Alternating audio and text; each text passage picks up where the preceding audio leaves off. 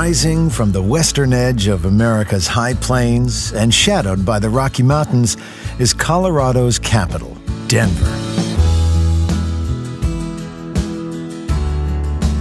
The city sprang up in 1858, right where the first flakes of gold in the state were discovered. As it turns out, there wasn't much gold around Denver. The real riches lay up in the mountains.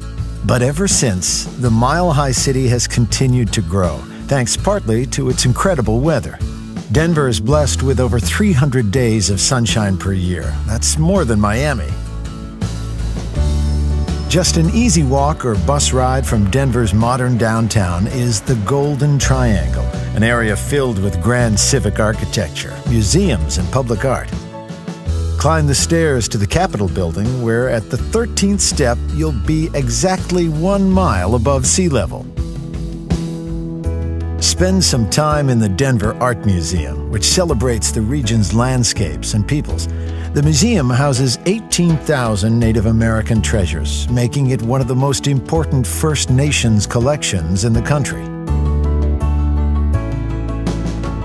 Not far from the Golden Triangle is the Children's Museum of Denver, where little adventurers can discover the world of kinetics, explore nature, and climb aboard a big old fire truck.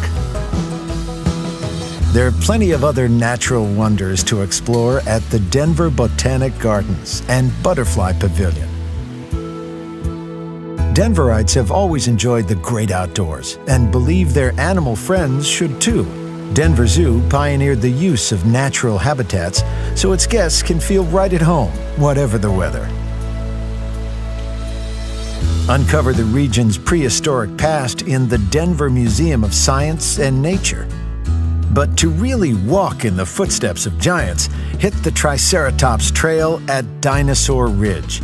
Here on Denver's western outskirts, you'll find the Morrison Fossil Area, one of the most extensive dinosaur track and fossil sites in the world. And just up the road is the historic mining town of Golden. Mosey on into the Buffalo Bill Museum on Lookout Mountain, dedicated to the life and times of America's greatest Wild West showman. Just outside, his final resting place sits high on a ridge where the winds whistle through the ponderosa pines. Down the hill at the Clear Creek History Park, peer into the lives of the pioneers who carved out a life in shadows and snowdrifts of the Great Divide. Golden is also home to the Colorado Railroad Museum, which lovingly maintains the locomotives, cars, and cabooses that once traversed the region's high plains and mountain passes. For many in these parts, the mountains became an obsession. Golden's Mountaineering Museum is dedicated to the technology and spirit of those who answer the call of those lofty peaks. Denverites can't seem to get enough of the great outdoors. While you're in the Golden area, call into one of the world's most beautiful natural amphitheaters, Red Rocks. Go for a run with locals or time your visit to take in a show. Many of the world's great artists, from the Beatles to U2, have performed here under the blood red rocks. If all that sightseeing and history builds up a thirst, you're in luck. The area around Denver is known as the Beer Triangle. Take a tour of the Coors Brewery before exploring the region's dozens of brew pubs and microbreweries. Denver is surrounded by places of incredible beauty. Just over an hour's drive south are the ancient sandstone formations that have been attracting travelers and dreamers for thousands of years, the Garden of the Gods. Nearby is the pretty town of Manitou Springs. From here, you can hike, catch the Cog Railway, or drive to Pikes Peak, weather permitting. This is where Colorado's real high country begins.